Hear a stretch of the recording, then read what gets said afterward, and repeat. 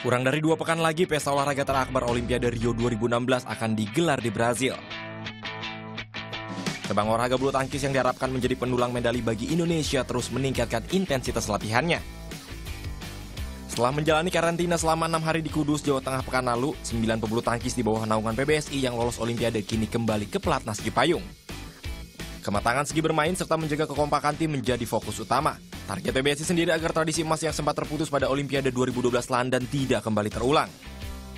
Ya, kita memang target ya dari tiga itu ya kita dapat kita memang target mau lebih dari satu ya.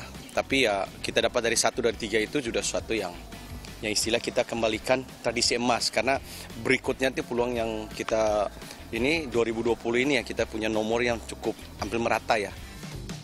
Meski cabur bulu tangkis baru di pertandingan 11 Agustus nanti, Hendra Setiawan dan kawan-kawan justru memilih terbang ke Brazil dua minggu sebelumnya pada 27 Juli. Hal ini dilakukan agar para atlet mampu beradaptasi dengan lingkungan di Rio sebelum memasuki masa bertanding. Kalau umpama dibilang cuaca panas, kita udah biasa ya di sini juga kita apa dengan cuaca kayak di sini apa udah udah terbiasa sih. Jadi mungkin adaptasi sama lapangan sih lebih lebih adaptasi sama lapangan. Sama mungkin kayak uh, lingkungan keadaan kayak di sana kan ada dibilangnya virus apa kita lebih lebih pakai ke situ sih.